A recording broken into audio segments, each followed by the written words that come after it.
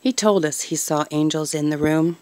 They were all sizes, from about three inches to about two feet tall, he said.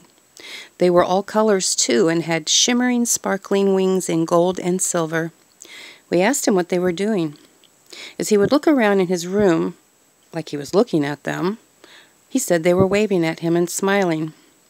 As this had continued on now for about three days so far, after he had woke up from being on a ventilator, it certainly was interesting.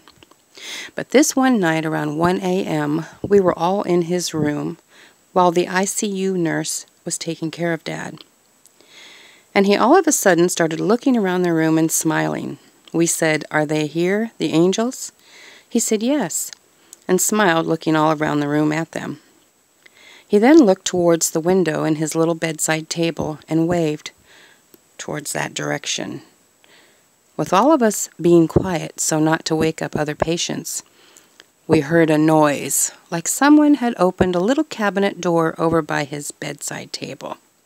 He smiled as we all looked in that direction, then looked at one another, then on back to Dad, and he smiled again. Like, see? So, do you believe in angels? Well, we sure did for that night.